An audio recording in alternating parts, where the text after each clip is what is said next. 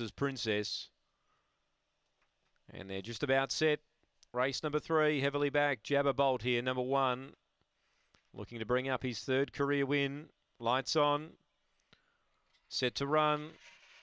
Here's the uh, the lure now for the third. They're ready. Set racing. Jabber Bolt away fair. He's trying to muster up. Beaten for speed by Finis Finesse, but now he gets busy. Jabber Bolt and he held the rail. Gets about a length clear. Make it two. Ran to second. Finis Finesse back to third. Trelly Belly ran on.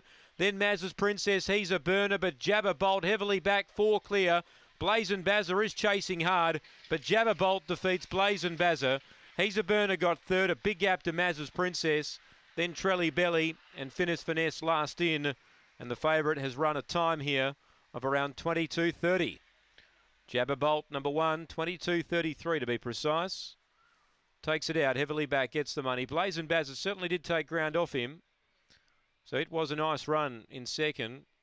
And number eight, third, he's a burner. It's one, two, eight, five.